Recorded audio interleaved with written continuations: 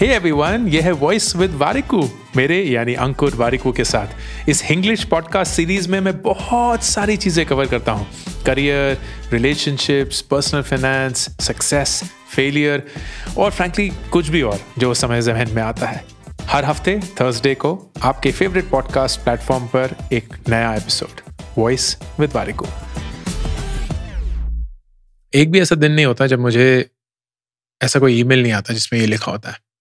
Ankur I was hurt I was betrayed I was abuse मैं बहुत pen में हूँ। मैं बहुत गुस्सा हूँ। मैं कभी भी इस इंसान को माफ़ नहीं कर सकता। इन्होंने जो मेरे साथ किया है ना, मैं इस इंसान को कभी भी माफ़ नहीं करूँगा। अब मैं इस दर्द को समझता हूँ। बिल्कुल अच्छे से समझता हूँ। मैं इस गुस्से को भी समझता हूँ। पर मुझे जो समझ नहीं आता वो ये है कि आप इस इंसान को माफ़ क्यों नहीं करेंगे? क्योंकि आप उनके लिए उनको माफ़ नहीं कर रहे हैं। आप खुद के लिए उनको माफ़ कर रहे हैं। नेल्सन मंडेला को लेके एक बहुत खूबसूरत स्टोरी है। उनको 27 साल जेल हुई थी। उस जेल में जेलर्स ने उनको बहुत टॉर्चर किया, बहुत बेइज्जती करी। फिर आखिरकार उनकी रिलीज़ हुई, वो साउथ अफ्रीका के प्रेसिडेंट बने और उनकी जो स्वेरिंग इन सेरेमनी थी, उसमें उन्होंने वो सारे जेलर्स सेम प्रिजन के जेलर्स को न्यौता दिया। तो बाकी लोग एकदम हैरान परेशान, कि आप ऐसा क्यों करेंगे? आप उन्हीं लोगों को आमंत्रित क्यों करेंगे? ये वही लोग हैं जिन्होंने आपको टॉर्चर किया था, आपको ह्यूमिलिएट किया था, आप पे हंसे थे जब आप जेल में थे। और इस पे नेल्सन मंडेला बोलते हैं कि अगर मैं उनको इनवाइट नहीं करूँगा ना तो मैं आज भी जेल में हूँगा।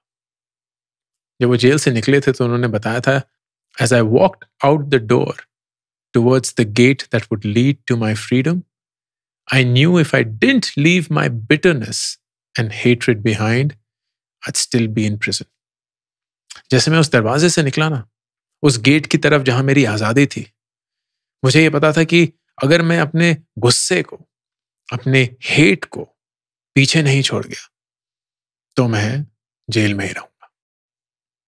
सच ये है कि माफ़ी मांगना ना बहुत मुश्किल है, लेकिन उससे भी ज़्यादा मुश्किल है माफ़ी कबूल करना। और उससे भी ज़्यादा मुश्किल। एक इंसान को माफ़ करना बिना माफ़ी के।